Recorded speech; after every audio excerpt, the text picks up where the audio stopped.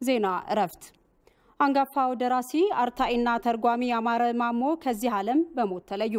በደቡብ ክልል ፍስሐ ገነት በተባለ መንደር በ1931 ዓ ም የተወለዱት ደራሲው ከ20 በላይ መጽሐፍትን ለኢትዮጵያ ስነ ጽሑፍ አበርክቷል።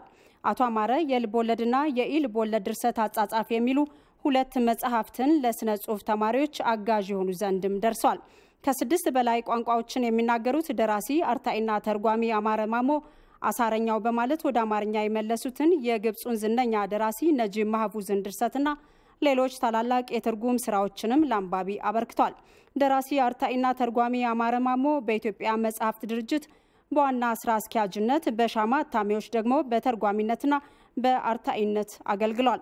የኢትዮጵያ ደራሲያን ማህበር የዕድሜ ልክ የክብር አባል የነበሩት ደራሲ አርታኢና ተርጓሚ አማረ ማሞ ባደረባቸው ሕመም በሕክምና ሲረዱ ቆይተው በዛሬው ዕለት ከዚህ ዓለም በሞት ተለይቷል።